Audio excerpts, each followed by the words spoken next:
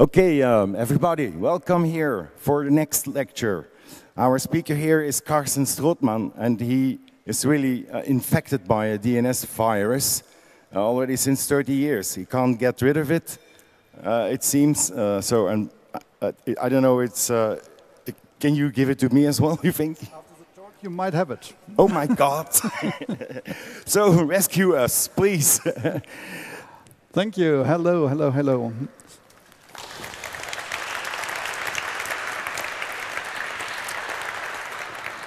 So the question is do or don't? I want to talk about the difficult suspect of uh, DNS privacy and discussion around that.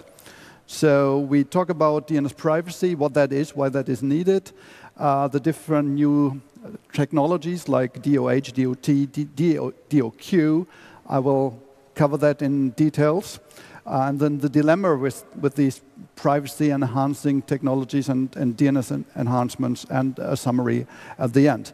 So I'm uh, a self-employed internet nerd doing DNS and DNSSEC and sometimes IPv6.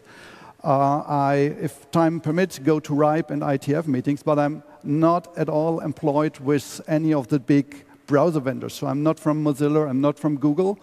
I just talk here about stuff that I have heard, either officially or unofficially in some talks there. But please, please, I'm, I'm just the messenger. Please shoot me. Please don't shoot me uh, about what you hear. so over the last few years, um, the IETF, which is the body, the people who design internet protocols, they expanded the DNS to enhance the privacy of the domain name system. Um, the system that we use to, uh, or our computers use to get IP addresses from uh, domain names and other important data they need. And even though there is more than just the transport protocols, in this talk I will only talk about the transport protocols uh, being DNS over TLS, DNS over HTTPS, and DNS over QUIC. So why do we need more DNS privacy? Uh, a, a, recent study uh, presented at the IETF meeting in Montreal in July last uh, month um, showed uh, that on a total scale in the whole internet, 8.5% uh, of networks intercept DNS traffic. Uh, so they, they, they capture the queries and they don't let the packet go out to the real intended DNS server. Instead, they redirect the, the packet and answer, the, answer that DNS question locally. Uh, and in China, it's more than 27% uh, of all DNS traffic being intercepted. Now, couriers, uh, uh, it's, it's, today, it's the fact that the most queries are just answered as if the query was not intercepted. So the users still get the, the correct answer. It's just coming from a different server. But that can change, of course. And, and maybe today it's more, mostly surveillance, uh, looking what people are querying in the internet. But that infrastructure can also be used to change data and change answers. And that is the reason why we need encryption in, in the DNS. So there are new abbreviations, new terminology for all the new technologies. We have DO 53, which is the traditional DNS, which is DNS over port 53, UDP and TCP. That's the old stuff that has been around since 1983. Then we have DOT, which is DNS over TLS. I will cover that in a detail in a moment. Then DOH, which is D DNS over HTTPS, port 443. We have DOQ, which is DNS over QUIC, which is something that we'll, we will see in the future. And I cover that in a moment. And then we have DOC, which is DNS over cloud, which means um, DNS not resolving locally, but through some internet service, Cloudflare, Google, Quad9, or similar stuff. So first, DOT. It's uh, DNS over TLS. It's, uh, it has an RFC. It's a few years old. And it encapsulates the normal DNS just over TCP and TLS, which is the same transport, transport encryption that we use for the web. but on a different port. It's port 853, and it gives us encryption and authentication. And either we authenticate the, uh, the other endpoint through a certificate, like we do that in the web, or we can use DANE, which is a way to validate certificates over DNS and DNSSEC. Both is possible, but most people today use the Internet PKI. Uh, this is how normal DNS works. Uh, sorry, there's some German still in the slides. Um, the client on the right side sends the query to some local resolver, which is um, either in your own network or in your ISP's network. That one looks in the cache. If the answer is not in the cache, it goes out and asks a couple of authoritative servers. They collect the answers, and the answers being sent back to the client. And all that goes completely unencrypted and not authenticated, meaning uh, the, the client will not get any information if that data is being intercepted or played with or just exchanged.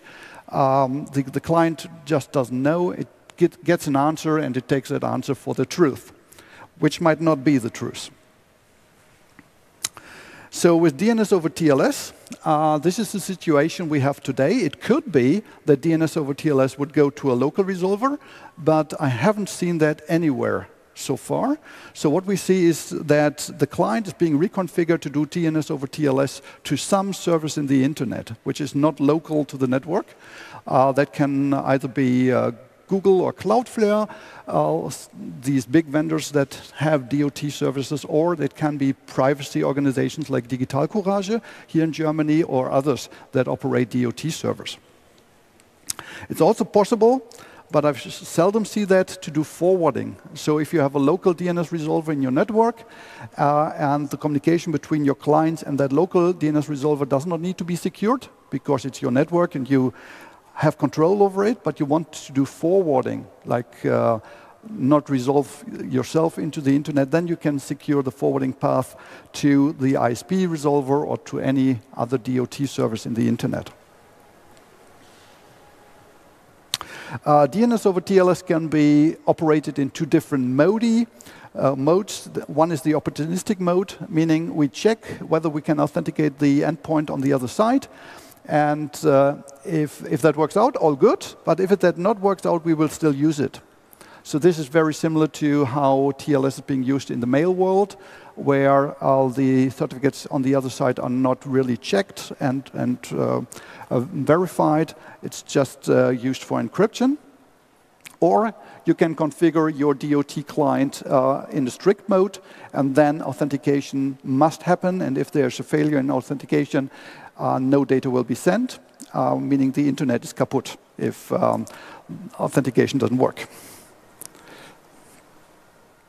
There are a couple of operators, uh, big and smaller ones. Here are a few that you can choose from. There are many, many, many more.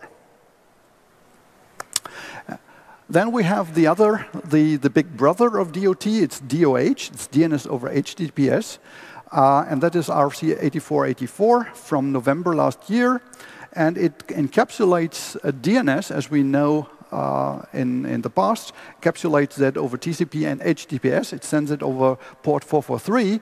And the idea here is that um, an outsider looking at the data stream could not distinguish normal web traffic from DNS traffic uh, that is DOH. And it gives us encryption and authentication, which is the same as with DOT, but it also gives us cloaking. And cloaking here means that we hide the DNS data in web traffic. Uh, and the idea here, it's much harder to, to censor, to stop uh, the DNS traffic if it is intermingled into uh, the normal web traffic going over port 443. This is how it could look like. Uh, the client will send a query actually to a web server on port 443. That web server will detect that this is a DOH DNS query will decapsulate that into normal DNS and will send that query to a DNS caching resolver, and that talks then to the authoritative servers, and that is then normal DNS. Just the, the pink uh, transport line here is uh, encrypted and authenticated. I'm now observing the IETF for more than 20 years, and um, the process of getting DOH into an RFC was one of the fastest I've ever seen. Normally, it takes five or six years from the first idea to having an internet RFC because uh, the IETF is built on, on rough consensus. So you need to first discuss a lot of stuff with the people until you have consensus and you have running code. Uh, with DOH, the first idea, start of the working group, was in November 2017. In March 2018, the draft was ready. The RFC text was complete, and um, they started the working group last call.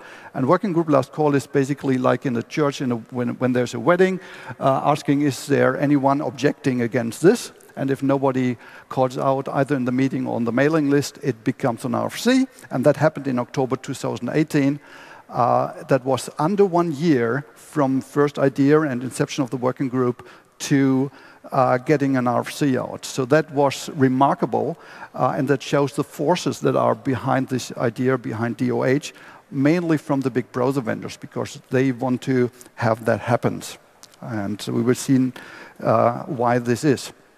There's an interesting quote in that RFC saying that filtering or inspection systems that rely on unsecured transport of DNS will not function in a DNS over HTTPS environment due to the confidentiality and integrity protection provided by TLS, meaning that all the devices that look for security incidents in the network um, by looking at the DNS, by looking at unencrypted DNS, will not work anymore. And uh, that scares a lot of administrators in networks that have, of course, good intentions because they want to keep their network secure. Um, but their devices, which were quite, quite um, expensive when they bought it, they won't work anymore in this. And so uh, some people fight DOH because of this, uh, others fight DOH because of other means. But keep that in mind. So um, DOH first appeared in Firefox as a browser in Firefox 61. That was in May of uh, 2018. And uh, initially, there was just a manual switch in about colon config. Uh, so you had to be a nerd to find this out. But in uh, the newer Firefox Quantum, um, this is a screenshot from Firefox 68, which is the, uh, the current one, I think.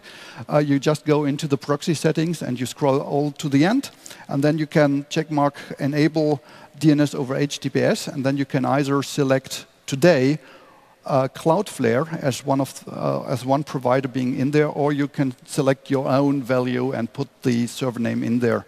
And this DOH default routes DE is just my server. So uh, what happened here, or what are Mozilla's plans? Mozilla gave a talk at IETF 105 uh, last month, and um, they plan to enable DOH in Firefox by default at some point of time in the future, but there's no date set. Reason for that is that they still figure out how, can, how they can enable that without breaking a lot of configurations in enterprise environments. Because the problem within, with enterprise environments is that they often have their local DNS space, uh, DNS names that are not registered anywhere in the internet, which are just locally to the resolver there. And if the Firefox browser would switch to DOH and use any DOH service in the internet, of course, that would not know about the names used in that company environment. Uh, so um, uh, the users will not be able to find the local Jira wiki or something like that. Uh, and that is bad, of course, a bad user experience, and, and Mozilla tries to avoid that. Uh, so they have to figure out a solution for that. But once they have figured that out, their plan is to switch uh, DOH on for everyone. Um, it will not be Cloudflare everywhere. So some people fear that Mozilla will just switch on DOH in Firefox and it, uh, everything will go to, to Cloudflare. Um, that is not the plan. Instead, um, Mozilla is working with local providers of DOH services, and uh, they certify local provider, and they will provide a list of operators of DOH service in Firefox, and they will select for every region one of them uh, to be the default. So it might be then that for Germany as a region or for the German-speaking region, uh, that there will be some provider, um, hopefully one that we mostly can trust, uh, that will be then the default in Firefox, but in there. Uh, Mozilla has published the requirements of being certified, and uh, the link is in here. You can read that. Also, if you want to operate your own DOH server and you want to be listed in, in, in Mozilla Firefox, uh, you have to uh, check these requirements, and then you can uh, request your service to be listed in there. Uh, Chrome. Uh, there is DOH in Chrome currently, but it can only be enabled with a command line switch. Uh, and there's a link how to do that. Um, the Google team has announced that they plan to have a GUI configuration part in Chrome 78, which is uh, one or two versions in the future. But they don't have any plans to switch on DOH by default. So it will always be for Chrome an optional uh, setting to do. Here's a, a list of uh, DOH operators. Um, and yeah. So what is the difference between DOT and DOH? Um, DOT can be easily blocked because it's running on a dedicated port. And especially in certain markets where DNS interception is very uh, often done, like in Asian markets, like in Indonesia, um, the, the people there, the, the users, they only have actually two ports that they can use for DNS name resolution. It's port 53 UDP, and only that, and only to the local ISP. And, and that one is filtering and is maybe intercepting traffic and is maybe even changing traffic. And it's port 443. Nothing else is open there. And of course, the operators will not change that. They will not open port 853 for privacy because they don't want privacy, and also the governments might not want privacy there. Um, DOH is made to look like normal HTTPS traffic. So the idea is that selective blocking of only DOH is very difficult. And blocking all port 443, all web traffic, is impossible for an ISP. That's the idea behind DOH.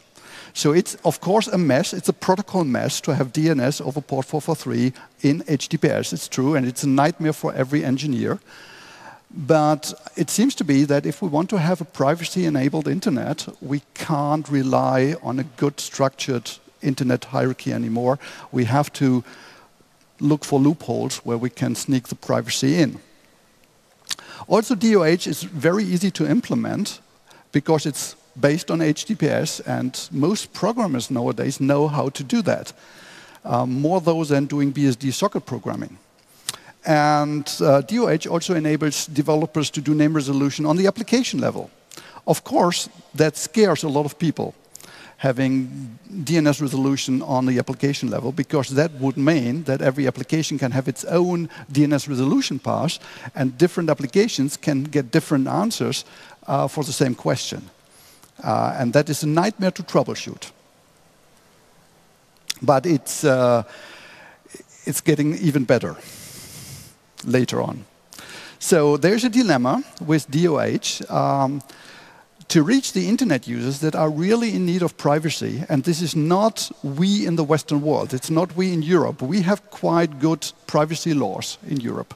But in the US, in Asia, there are a lot of networks where getting privacy access to the internet is very, very hard.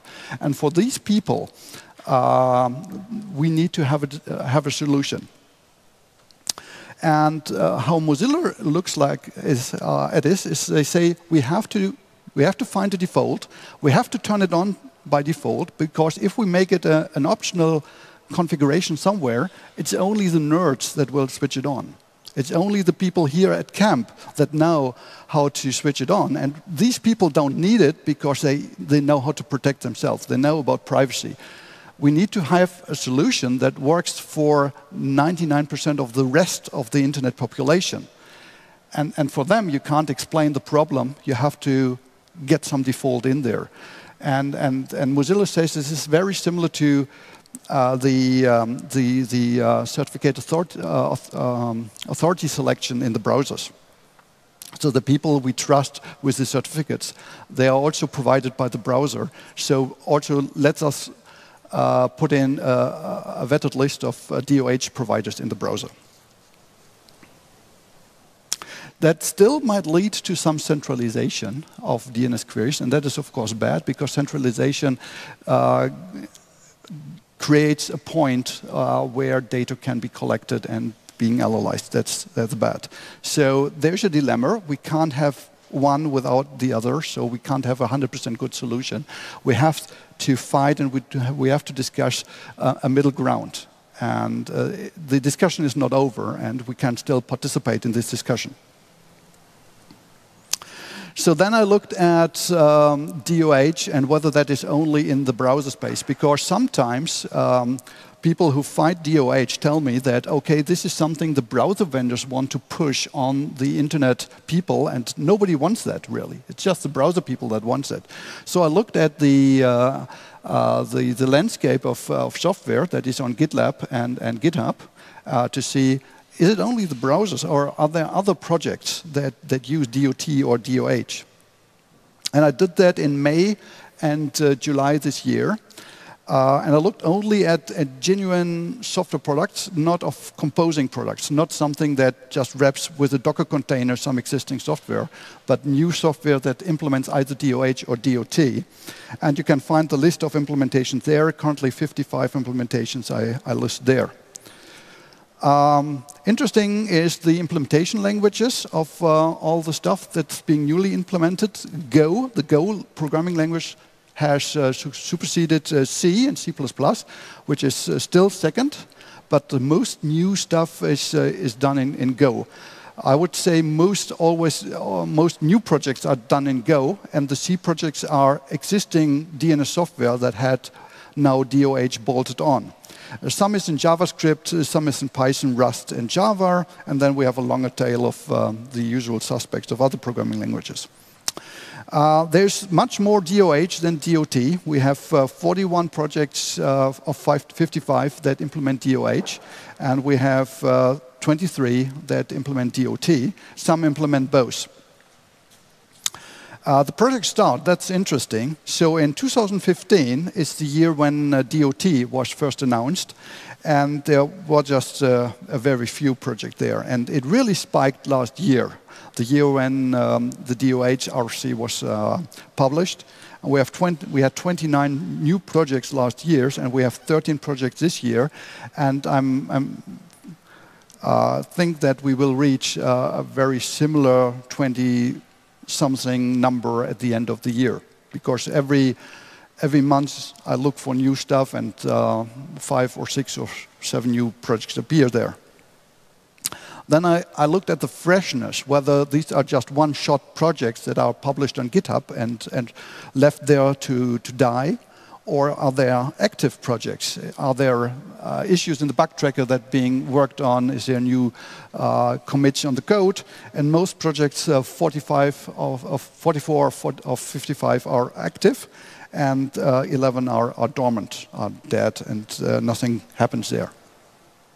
Here are some applications that have DOH or DOT. It's uh, Firefox and Chrome. Uh, curl on the command line has that. Tenta browser and Bromite are two browsers in the, in the mobile space and on Android that have that implemented. Um, on the operating system side, uh, systemd resolved on Linux has it, but not on by default. You have to enable it uh, on uh, default for DOT.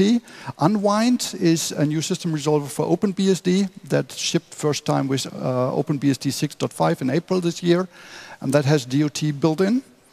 And there's a resolver module for uh, libc. Um, that is um, a proof of concept state, uh, but it could be expanded on, and that would give uh, DOT or DOH to all applications. Uh, there's a lot of client proxies. I won't cover them all of them, but you find the links on the implementation page. And server proxies as well. And there are uh, DNS servers that now implement DOH and DOT directly, like Unbound, Knot, and also the SDNS uh, software. So what I found missing in the DOH DOT software is uh, certificate authentication via DANE. They usually authenticate via the certificate store of the operating systems, but having authentication via DANE would be even stronger having that. uh, a witness function would be nice, meaning that a query received from a client would be sent to multiple operators, multiple servers in the internet, and then we wait for two or three answers coming back, and then we compare the answers. And if they don't match up, we uh, take a majority vote. So if just one operator plays foul and, and changes the DNS data, uh, such a software will detect that, and then will go with the answer the most uh, DNS uh, servers provide. Of course, it will slow down DNS, so there should be a switch somewhere for the user to decide whether the user wants to have a secure and private or a fast internet. And of course, all the new software, there's almost, I haven't seen any security audits. So, and it's all new stuff there. There's probably tons of security bugs in there still. And um, there would be a need of uh, doing some uh, software security audit for these new softwares.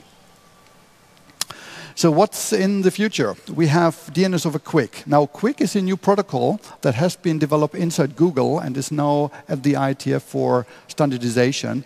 It is to be replacing TCP. It's based on UDP, but it has TCP functionality built in. It's already in Chrome and it's already on the Google server side. So if you have used Chrome with the Google search page or YouTube in the last three years, you have used QUIC because if you have Chrome and you contact some of the Google services, especially YouTube, uh, the browser will automatically detect that, that uh, this website is QUIC enabled and it will switch over and not use TCP, it will use QUIC. Uh, the reason why Google developed QUIC is because uh, TCP is uh, ossified, meaning it's impossible to change TCP because there are so many middle boxes, firewalls, intrusion detection systems that make certain assumptions how TCP works.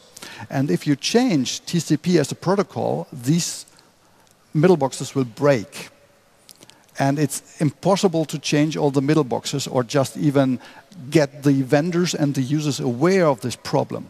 So it's, uh, we are in a state that TCP cannot be changed anymore. It cannot be made better, even though there are ideas to make TCP better. So um, the route that, that Google goes is to, to create a new protocol that works on UDP because UDP is, um, is not a problem. Uh, you can make any changes to UDP or on top of UDP, and it usually just goes transparent to the firewalls. And of course, with this new protocol, there's an idea to have also DNS over this new QUIC protocol.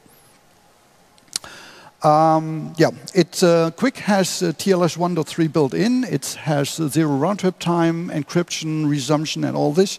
All that uh, we have in TLS 1.3 is also in QUIC. And um, there's currently discussion on the IETF how to standardize DNS over QUIC. And it would look the same as DOH or DOT, just with a different transport protocol. But not sure if I have that here. Um, yeah, uh, QUIC is the, the, the idea of QUIC is that QUIC is not built into operating systems like the TCP IP stack, but it's built in the applications, like it is in Chrome today. So it is a new network stack that is in the applications. So if you are feared of having DOH and having all applications doing different DNS name resolution. With QUIC, all applications will have a different TCP IP stack, basically, and talk differently to, uh, to the outside world. And that will be a troubleshooting nightmare, but we'll see how that ends. So here's a comparison of uh, uh, DNS over TLS and, and QUIC and, and traditional uh, TCP by the the person by Christian Huitema who wrote the draft to the uh, QUIC uh, implementation for DNS. And of course, QUIC comes out the best on the right side. Uh, it has all the, the nice properties that one wants. So I'm almost coming to the end of this talk, um, we see that the DNS is, is uh, evolving fast these days. There's many, many changes to the DNS protocol. Not only the new transport protocol, but much more like uh, eDNS padding and uh, QNAME minimization. And for some people, it's, it's too fast. Uh, Bert Hubert from PowerDNS wrote this uh, article, The DNS Camel. And uh, he, he, basically says that the DNS is like a camel, and if we put too much stuff on it, it will break and not work anymore, uh, which is true. Uh, so the internet and especially the DNS community are currently working on also deprecating some old behaviors of DNS to be able to uh, rip out um, unused stuff out of the DNS software. But I'm very certain that uh, the, the future of DNS communication will be encrypted. It will either be DOT, it will DOH, or it will DOQ. Uh, if, if I had to, to make a guess, I would say it's DOH. And it will be DOH, and uh, there's nothing we can much do about it. We can e only maybe shape the way how it is implemented, but we can't avoid that, we can't stop that anymore. I see that DOH or DOQ have both the potential of centralization or decentralization. It really depends on the software or and how much operators are there of these DOH and DOQ servers. If, if, if nobody but the big vendors are implementing this, of course there will be centralization. If a lot of ISPs, if a lot of privacy organizations, if a lot of private people implement DOH and DOQ servers and make them public and operate them in a responsible way, we can have even a better internet and a, and a, decentralized internet by having that. The software is there, the protocols are there, the protocols are neutral. The protocols don't demand how it's implemented. Of course, if DOH is implemented and, and all data is being sent to one operator, that's bad. But if we have a lot of DOH servers out there and users can choose, and maybe the software is even intelligent to choose for the user, then it could have a decentralization effect, and that would be good. What can we do? We can start operating a DOH and DOT server. It's, it's not rocket science, quite easy. Um, software is there, software is mature, we can use that. Uh, we can hack on the DOH and DOT server, maybe do security audits, maybe implement a witness function that is currently not there. Maybe implement DANE um, uh, um, authentication of, of uh, certificates. We can work on, if, uh, if, if, we work on operating systems like Linux or the BSDs or Haiku or any Illumos or something like that, we can try to bring these new technologies into these operating systems. We can't avoid them. Don't try to say, oh, I want my old DNS and I won't do this new stuff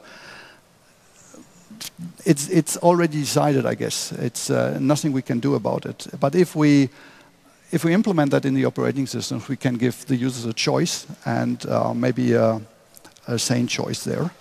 Uh, please engage with the IETF. Don't just criticize the IETF of the uh, RFCs they make.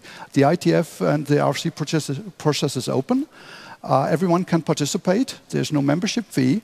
If you can't travel to the meetings, there's remote participation. You just need your time, sit there, uh, listen to the talks, and you can uh, use Jabber Chat to ask questions or bring in your, your input there. That is much appreciated. Um, the IETF needs more people from the base, from the ground, uh, to bring input there. Because if, if we don't do that, it's the big people from the big corporations that steer the internet protocols, and that is maybe not in the best interest of the, the people using the internet. And uh, independent from this talk, deploy DNSSEC, because DNSSEC makes DNS more secure. So I thank you for, for listening, and I hope we have a few Thank you.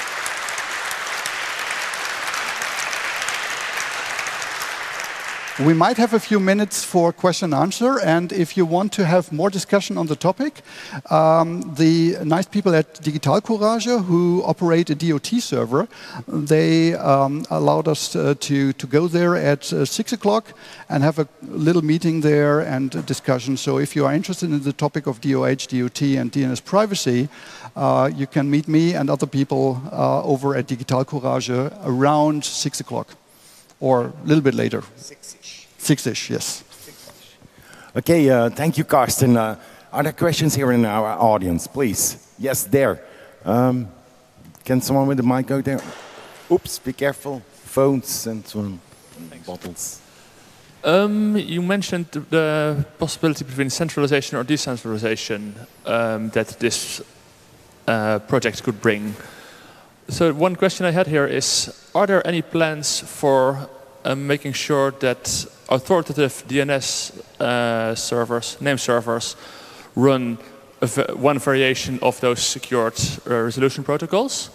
Because if we want a real decentralized service, what we want is for me at home to be able to run my own recursive um, DNS over HTTP resolution scheme, even though I am behind an ISP that blocks the pirate bay and that sort of thing. Which means to be able to do that locally, I need to uh, be able to reach all the authoritative name servers over HTTPS to make that work. Are there any plans for this that you know of? Uh, yes, um, the uh, DNS privacy working group in the IETF is currently exactly working on that. They are looking into a protocol extension for DOT and DOH between the resolver and the authoritative servers. It's still work in progress. It's not there. There are some proof of concept implementation in software already. Um, but uh, this is the second step. Um, securing the, the path between client and resolver was the first step and this is what we have today. That is mature, we have the RFCs. And the second step, securing resolver to authoritative communication that's currently being worked on. Excellent, thanks. I see a question here in front. Uh. What is any of this new security worth when there's no protection from downgrade attacks?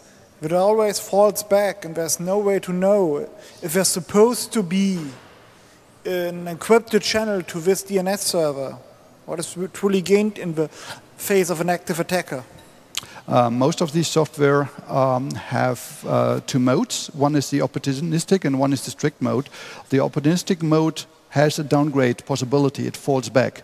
Either it falls back uh, to unauthenticated uh, TLS or even it falls back to classic DNS. But you can, most software you can configure uh, in strict mode and then it will not be downgradable. It will just fail if uh, uh, the encrypted and authenticated transport is not available.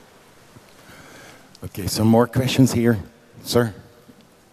Uh, yeah, thank you for the talk. Um, just a quick question about the uh, DNS inside application. Uh, what is your what are your thoughts on why corporations are doing this? Is it just because it's simpler, because they own the software that implements it right now?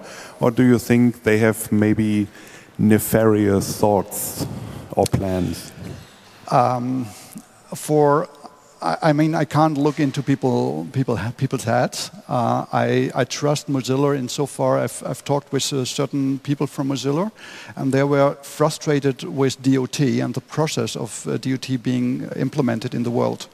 Uh, the DOT RFC is now three or four years old, and it has not seen wide adoption.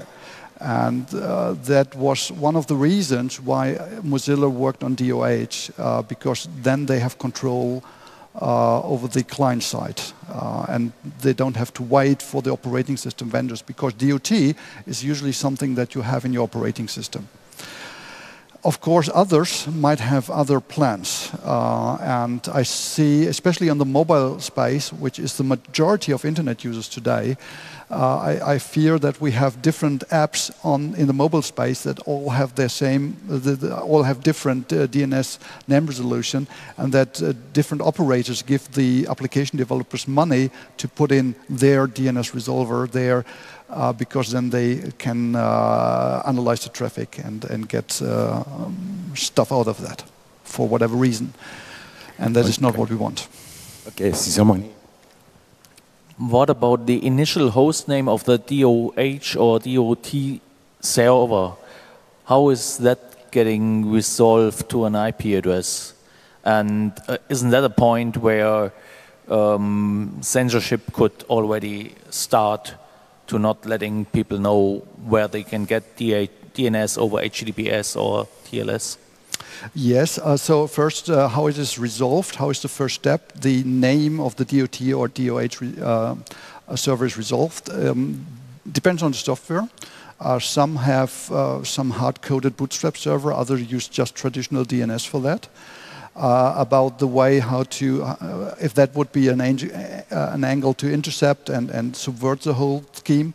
Uh, no, because of course someone could intercept this first query and give a different IP address for the name, but then the certificate wouldn't match. So if you have a strict mode where you really check the certificate of the uh, other endpoint, um, unless the uh, the attacker has a, ability to to fake uh, a TLS certificate, um, it wouldn't work. Great. Of course, there's problem. That's why I say uh, we should have software that, that relies on DANE and not on the public key infrastructure of the internet with the certification authorities, because that is a completely different problem space. And yes, it's not perfect. Okay, this gentleman. Hello, uh, thanks for the talk. Um, I'm wondering, as long as we don't have uh, encrypted server name indication, a lot of the privacy benefits are lost again in the next in the follow-up request after the DNS lookup. Yes, that's true. But do- uh, encrypted you- SNI is being worked on. Are you familiar with the plans of the browser vendors uh, regarding encrypted server name indication? Not so deeply as other people. I'm more a DNS person, but I, I've just talked to someone today who's more in that space, and he told me that this is currently actively worked on. I can't give a date when that will be there, but both, uh, or all the big vendors, uh, Apple, Google with Chrome, and, and Mozilla are, are pushing that forward. I just have one more, one last question here since uh, we have to close. Um, are there already possible solutions for the split view DNS problem you mentioned? Um, uh, is, uh, I understand the question correct? Are there possible solutions for the split DNS problem? Yes. Um, uh, probably yes. I haven't really looked into that. Um, but what you can do is you can uh, send certain queries to the system resolver that your operating system has uh, to figure out uh, whether there is some specific namespace. But I'm not in the details of that. And this is still an open question and still something to be researched. It's the reason why Mozilla hasn't turned on DOH by default, because they haven't figured out a good way to do this. They're still researching on that. But this is a problem that needs to be solved. Great, Carsten. You, uh, well, I got the virus as well now. I think some other people here got this DNS virus. Thank you, Carsten Strotmann. Give a Uh, thank you. please.